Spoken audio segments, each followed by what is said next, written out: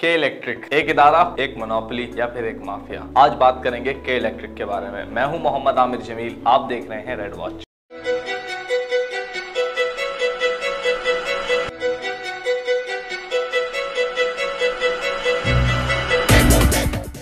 के इलेक्ट्रिक वो इदारा है जिसकी ज़िम्मेदारी है कराची के तमाम इलाकों में बिजली पहुंचाना।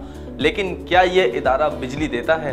मुझ समेत तमाम लोगों का यही जवाब होगा कि ये सिर्फ़ बिल बेचते हैं, बिजली नहीं बेचते। के इलेक्ट्रिक ने हुकूमत पाकिस्तान के इदारे नेपरा से मुहिदा किया था 2005 के अंदर। इस मुहिदे के तहत 2023 तक के इलेक्ट्रिक कराची के तमाम इलाकों में बिजली सप्लाई करेगा। लेकिन हम सबको यही शिकायत है, ये इदारा अपना काम सही ढंग से नहीं करता। और बहुत सी जगह पे हम सबको इसके साथ इश्यूज़ आते रहते हैं। इस इदारे के बारे में कुछ लोगों का ये भी ख्याल है कि ये वो पाकिस्तान का वाहिद इदारा है जो कि हुकूमत के बाकी इदारों से भी बदतर चल रहा है। 2005 से लेकर आज तक इस इदारे ने लाइन लॉसेस तक को कवर नहीं किया। इस इदारे का इंफ्रास्ट्रक्चर बाकी सरकारी इदारों के इंफ्रास्ट्रक्चर से भी बुरा है। बाकी मुल्क के अंदर लाइट होती है।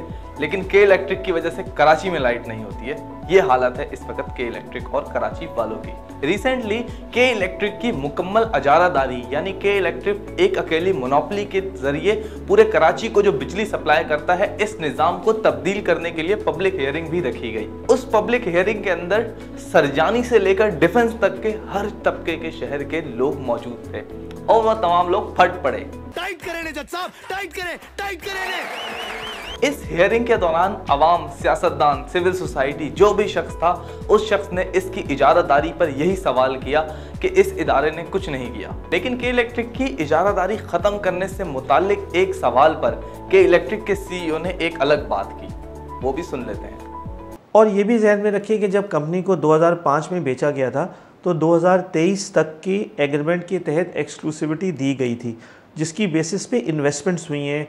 अब आते हैं के इलेक्ट्रिक के असल पे। के इलेक्ट्रिक का मसला क्या है? के इलेक्ट्रिक कराची के ढाई करोड़ लोगों को बिजली सप्लाई करता है। इसके पास 27 लाख कस्टमर हैं। लेकिन इसके बावजूद कुछ इलाकों में चार घंटे, आठ घंटे, जबकि 10-10 घंटे की लोड शेडिंग भी होती है। कुछ इलाकों में 8 से 40 फ़ीसद तक लाइन लॉसेस भी हैं।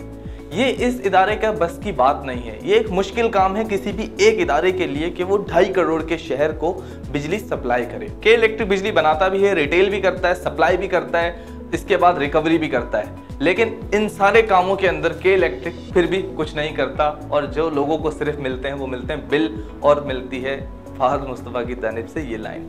हम पागल ही तो है। हम पागल हैं जो बिजली के लंबे लंबे बिल भरें और और कई घंटों की लोड शेडिंग भी बर्दाश्त करें।